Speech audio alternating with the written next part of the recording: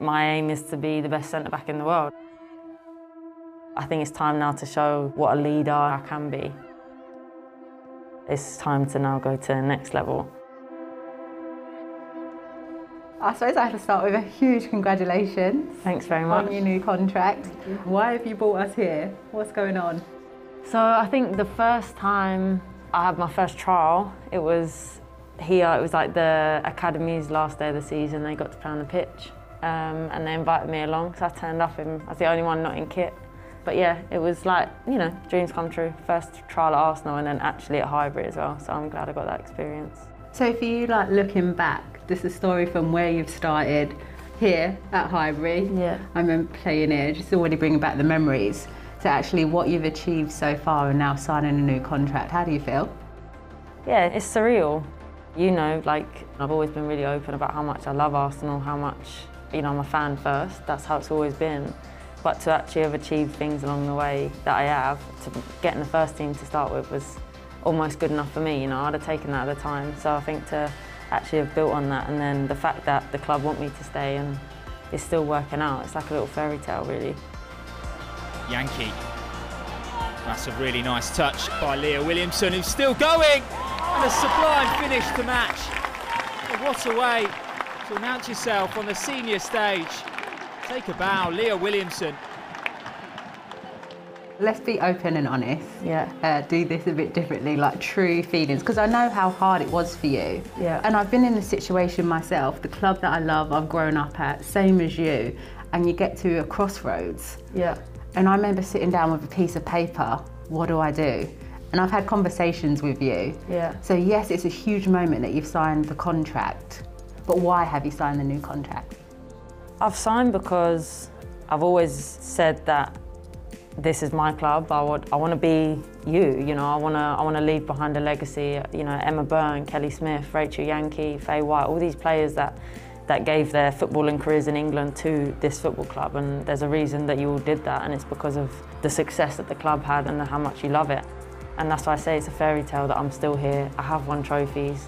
We continue to compete for trophies. That's really important to me, and I think that I owe the club as well for, for everything that they've always given me and it's time for me to, to give back to them and and like I say stay another year and, and try and try and bring that success back to North London. Mad, isn't it? Because I like look, you've already achieved so much in terms of like trophies. You've now broken into the national team, but for me, I do feel there's a next level. It's like a new chapter for you. What is that?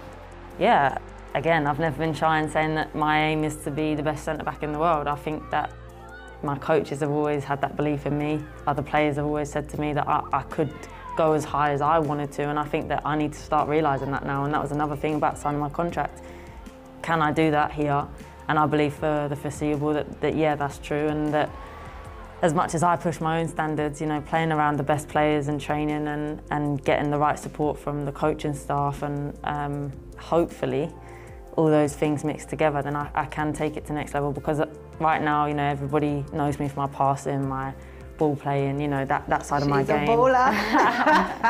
Um, and growing up at Arsenal Academy, I'd expect nothing less, less of myself, but I think it's time now to show maybe what a leader and, and a defensive player I can be. Um, and I think that's that's that next one two percent for me that I need to I need to tick, tick off that box. Leader. So you want to be future Arsenal captain? Is that inside? I think that the captain's armband Don't shy away from it. Come on. the captain's armband finds you. I think I do genuinely believe Good that. answer. Uh-huh. I think that if you're the right person, then that, that path will always, you'll always meet. But yeah, of course I would, you know. I captained the team once this year, last season, and I was crying at the end because it's, it's emotional for me. You know, I, I, I get embarrassed sometimes because I'm not sure in the women's game that there's that much love for clubs as there is in the men's, but that's how I feel about Arsenal. And if I was ever given that honour, yeah, I'd, uh, it's making me a bit like, yeah. But you say that. I remember seeing it and being like, oh, like it's my heart. I got emotional about it because, like how you said, you growing up at the club. Not only that, like you're a fan, your mum, your family. It's hard to express and tell people how ingrained you are in this club. Like, Yeah. yeah, they talk about my story and everything, but you are exactly that.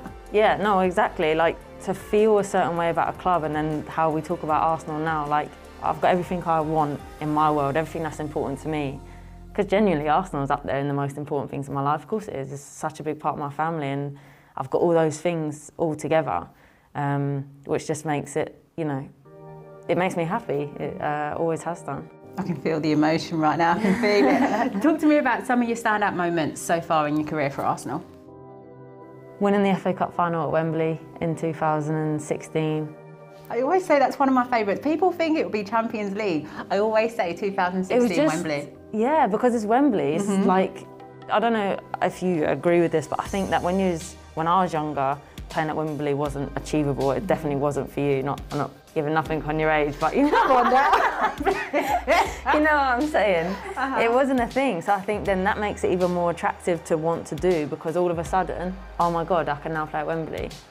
Okay, now we're gonna go and win with with my team. You know, like I remember sitting next to Emma Byrne on the bench, and nobody should ever be happy about sitting on a bench. But I'm like, if there's a way to do it, I remember when you came on. This is the way. yeah, you screamed at me for five minutes straight, Alex. I remember too. I remember too. We got over the line. We got over we the did, line. We did. Um, but yeah, like, I don't know. It just that was that was very very special. I think that that whole day. It's probably one of the best days of my life, to be honest. Just as a whole package, like everything about it. The record holders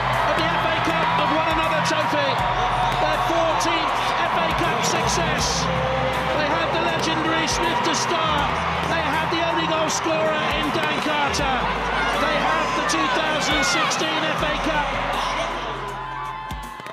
In terms of the fans, because they have been begging you to stay yeah. constantly, what's your message to them? Do you know what this is like? I really, really have felt very appreciated in this whole process, and um, they definitely swayed me before you know before you really sit down and have a think about your future. Well, I didn't. No, yeah. you go on. Um, but yeah, do you know, I don't know. I just felt very loved by them, and I like that because that was once me. So again, like I've been in them, their shoes, and I am actually living the dream. So I hope they know that I would never take a second for granted, really, and that what I do every day is because I know how grateful I am to be in the position that I am. You know, I see myself as the same as them in terms of my love for the club. So yeah, I suppose my message to the fan is that I promise that I will give it my everything and I hope that the impact I can have on the club as well is as big as the impact the club's had on me.